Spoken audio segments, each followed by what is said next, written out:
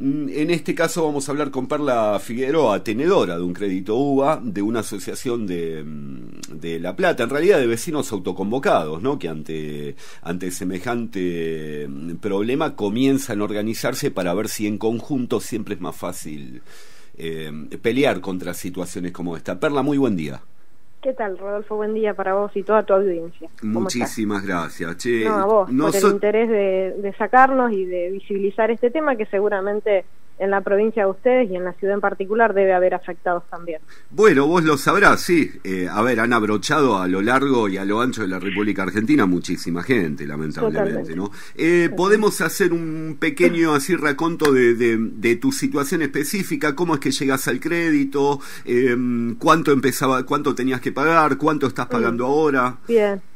Yo saqué un crédito para una compra de vivienda, una vivienda que obviamente eh, el estándar de vivienda es una vivienda de 40, 50 años, digamos, no es una casa, digamos, estándar, en un lugar afuera de La Plata, que es un barrio que se llama Los Hornos. Sí, Los Hornos. Em, eh, muy conocido.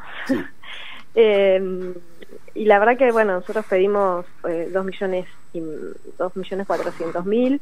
Actualmente nuestro, nuestro capital, nuestra deuda aumenta, supera los 3 millones, esto hace un año y cuatro meses que lo pedimos iniciamos pagando 16 mil pesos y fue de 38 mil. A ver, a ver, a ver, a ver, para empezaste pagando 16 mil cuando debías 2 millones 400 mil. Ahora debes más de 3 millones y estás pagando... Alrededor, en la última eh, va a llegar ahora, digamos, pero calculamos que va a llegar a 30 y va a superar los 35. Eh, bien, eh, cuando vos pagás la cuota estás pagando cuota y no capital, evidentemente, ¿no? En realidad, la, el, el programa, iba a decir, el crédito, a vos te prestan uvas, digamos. El crédito te va nos prestó a nosotros, por ejemplo, el UVA, perdóname, para, el UVA es un indicador económico que le pone un valor, vos compras tantos uvas y después depende lo que debe, lo que valga cada uno de ellos es lo que vos vas a pagar finalmente. Diariamente es lo que voy a pagar, exactamente. La UVA es la unidad de valor adquisitivo, sí, sí, que tiene como como lo rige el, el, índice de precio, el SER, digamos, que ajusta por inflación. Sí. No solamente el capital ajusta por el, el UVA, sino también la cuota. Sí. Entonces, sobre lo que ajusta la uva, sobre eso te aplican la tasa. Hmm. O sea que tendrías como una doble indexación ahí.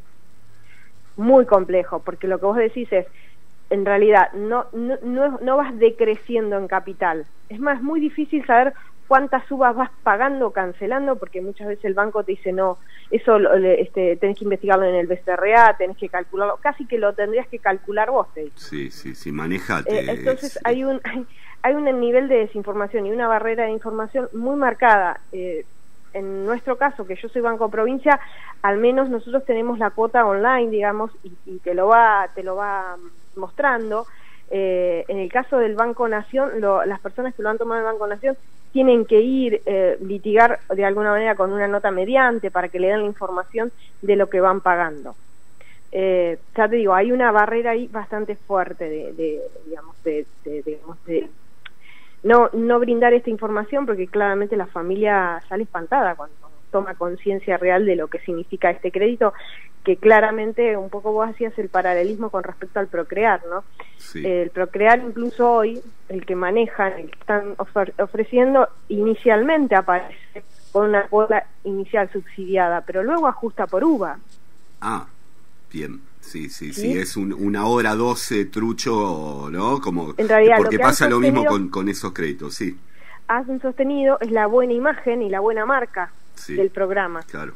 Pero en realidad de fondo las condiciones han cambiado absolutamente. Estamos hablando de otras reglas de juego, donde la política de vivienda se entregó al sistema financiero. Por eso estamos en el meollo que estamos nosotros, ¿no? ¿Cómo eh, accedes vos al crédito? A ver, vos, vos tuviste que poner un capital inicial, directamente entraste nosotros, No, nosotros, eh, el banco obviamente te presta el 80%, el otro 20% lo tenés que aportar vos. Sí. En el caso mío, nosotros a su vez hagamos un préstamo personal. Sí. para llegar a ese 20%. Hay familias que también han hecho como yo, hay familias que han tenido un terreno y ya lo han puesto, o personas, familias que vivían en un departamentito chiquito, lo vendieron para comprarse una casa más grande. Sí. Hoy están en riesgo de que también pierdan esa inversión inicial que hicieron del departamentito, ¿no? Claro. Muchas familias les ha pasado esto, digamos, que veían la posibilidad de agrandar, digamos, ya eran cuatro, cuatro miembros en la familia y necesitan más espacio. De eso te puedo decir, muchas familias les ha pasado.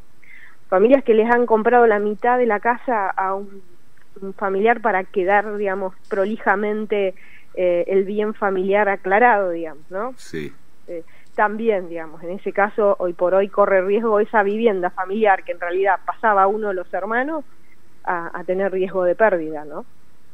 Es muy doloroso, te digo, al, al entrar a las historias de cada uno, eh, bueno, familias que han quedado algunos de los miembros desempleados, eh, hay familias que lamentablemente han sufrido algún recrudecimiento de alguna enfermedad que, que ya venían de base y frente a esto ha despertado un lupus, por ejemplo, galopante, eh, vos sabés que son enfermedades autoinmunes esas. Eh, la verdad que es muy doloroso porque por el otro lado eh, no hay ningún tipo de rasgos de entendimiento o de sensibilidad de parte del gobierno para que esto sea atendido, ¿no? Por eso nosotros de Provincia de Buenos Aires ayer salimos con una campaña bastante fuerte de directamente replantear este, en estas vísperas de las pasos que los candidatos se expidan frente al sistema que nosotros estamos planteando que hoy ya ha fracasado y pedimos la eliminación directamente. Eh, no Bien, este tipo de migajas no, digamos, a ver, el 50, el 20, el 30, no, o sea, hay que, hay que repensarlo porque si no vamos a tener un problema acá cinco años de nuevo, digamos, con parches así.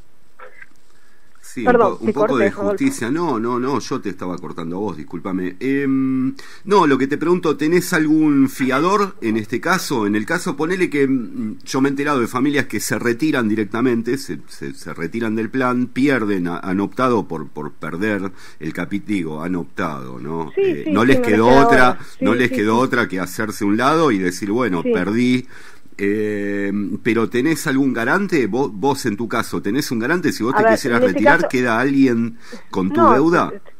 En realidad, en realidad yo soy una titular y un cotitular, a eso te referís. Eh, en realidad no, no podría retirarme, a no ser que, digamos, digamos deje de pagar, porque hay algo que también en mi caso en particular me es difícil, es que en realidad eh, a mí me descuentan directamente de mi cuenta sueldo. Claro. ¿sí? Entonces yo, no aparezco morosa en el banco respecto al crédito, pero seguramente en algunas otras cosas de mi vida sí, como impuestos, este, el, mínimo de la tarjeta, algún, algún servicio que, que pago con segundo vencimiento. Eh, eso hasta que llegue al 100% de mi sueldo. Cosa que estaba prohibido en el durante durante el gobierno anterior, estaba prohibido, no te no, no creo que era no podía pasar del 30, tal cual, más del 30% no podían retirarte de tu sueldo. Esto fue pensado, digamos, inicialmente era así, pero para la valoración de tu crédito, pero luego ya entrado en la vida del crédito no te, no tiene tope, digamos. Sí. Eh, en el caso mío en particular, eh, el tema es así, te toman el 30% de tu ingreso familiar, de tu ingreso, familiar. el de mi titular y el de mi cotitular, yo como titular y mi cotitular, mi esposo.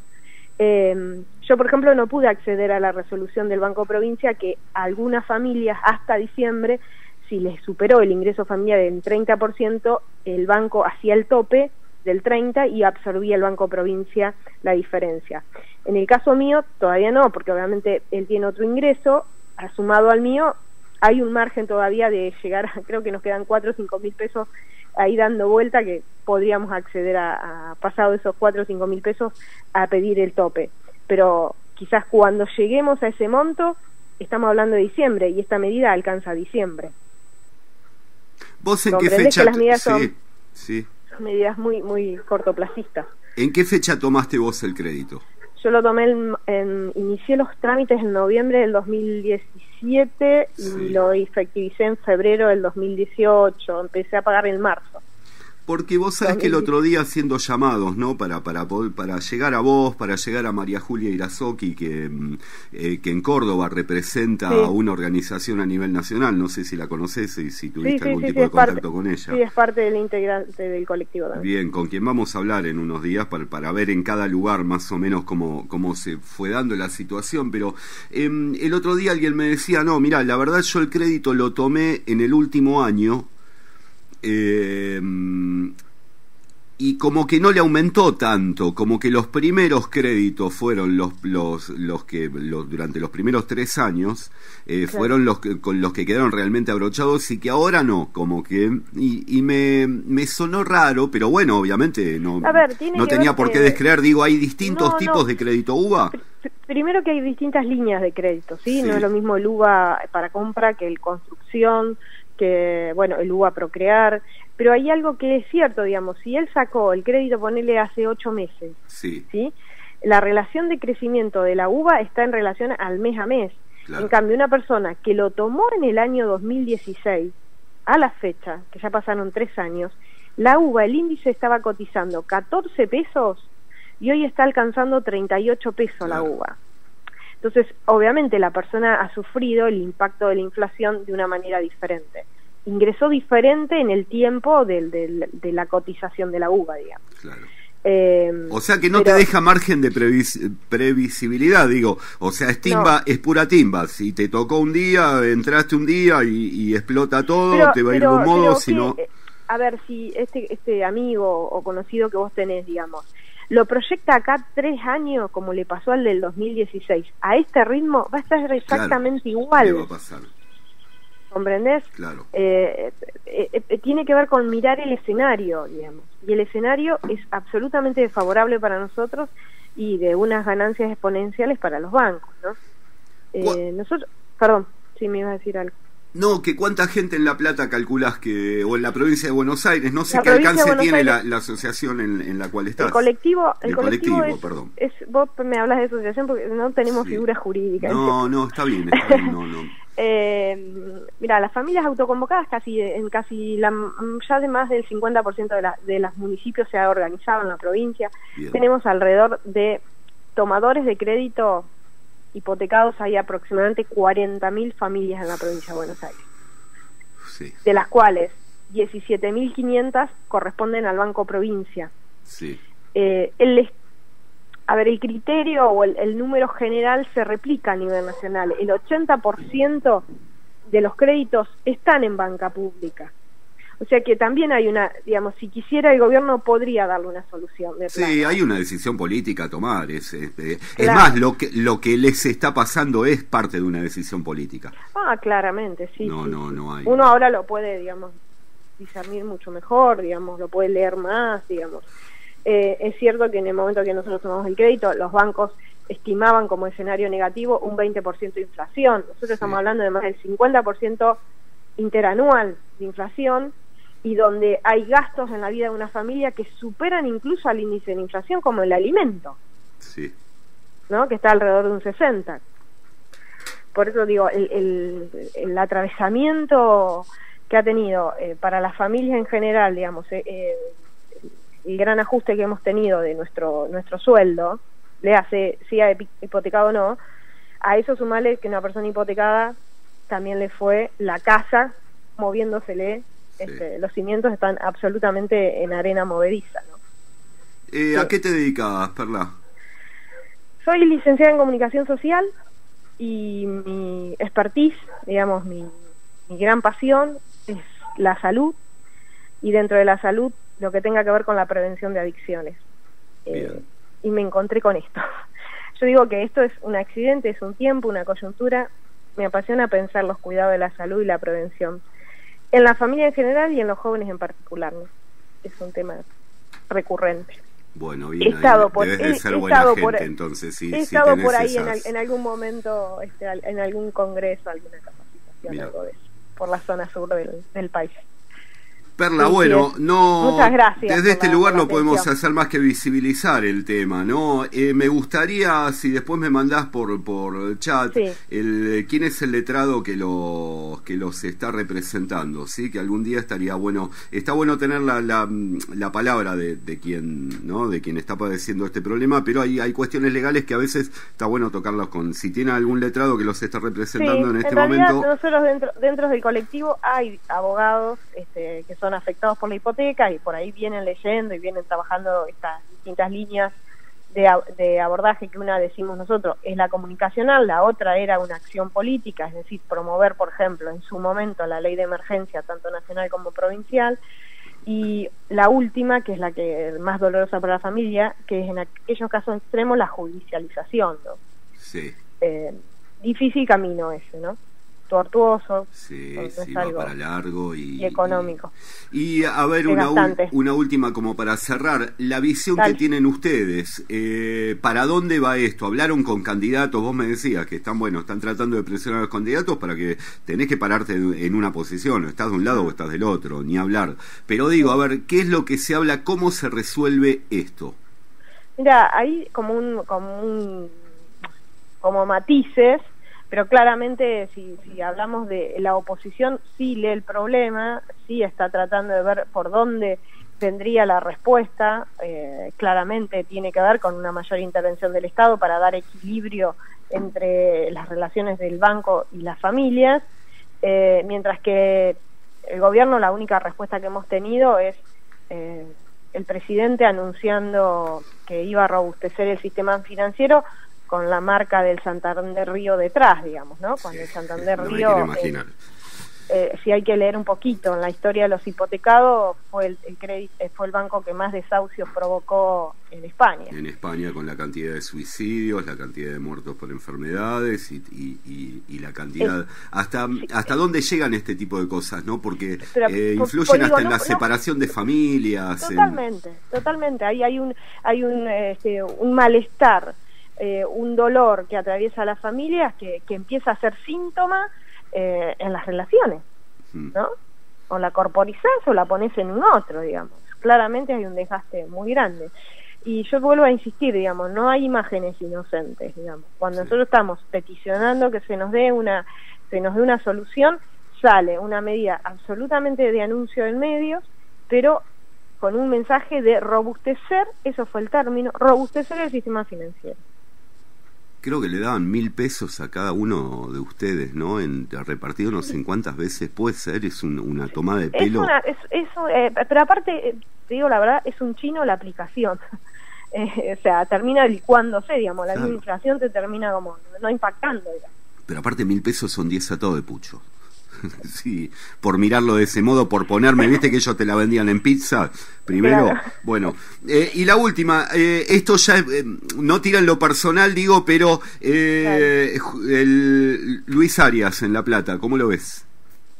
Ah, mira qué bien. O sea que estás conectado con Lo vengo correteando y todavía no no no puedo acceder. En cualquier momento lo tenemos al aire. Me interesa hablar con ah, él. Eh. Bueno, si quieres después te paso el teléfono. Vamos todavía. Muy bien. bueno, mirá, lo que estamos llegando. No te, no te preocupes que bueno, trabajo en el campo de lo comunicacional más allá de la cuestión de salud. Así que bueno, nada. Este, algún, algún medio ahí tengo de para pasártelo. Quedas comprometida. dale, Luis. Eh, yo te digo la verdad, te lo digo como vecina de la ciudad. Sí. Me hubiese encantado que no hubiese tantos candidatos en la PASO. Ajá, mira, acá tenemos el mismo problema. Y la verdad, porque en realidad, a ver, es mi lectura, ¿no? Que, no me levanten después acá porque me No, pero, es, pero está bien, pero es valedera como la mía, como la de cualquiera. Son todos, aparte que los conozco a todos, son buena gente, digamos. Conozco a todos los este, precandidatos de, digamos, está Florencia, está Victoria, eh, está eh, Luis, está Guillermo y está Federico Martelli. La verdad que son personas, digamos, con, una trayectoria en La Plata eh, innegable. Pero juegan todos por separado. Pero es lo mismo que está pasando aquí en San Carlos de Bariloche con los candidatos intendentes. ¿Por qué? Y porque deberían de tener una lectura un poquito más cercana a la gente y no tanto al proyecto personal que tienen. Y cuando digo personal a veces no es personal porque por, porque en lo personal voy a por plato, por sino porque tienen una, una estructura de trabajo y una forma en la cual eh, no se cortan solos cuando en realidad lo que necesitamos que para eso acá si se unen los tres candidatos se gana la intendencia, recuperamos la intendencia de San Carlos de Bariloche, los ciudadanos. Lamentablemente van por tres listas distintas.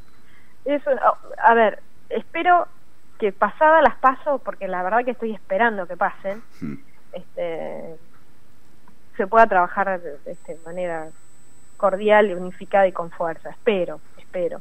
Pero la verdad que es una pena, es una picardía porque porque divide el voto.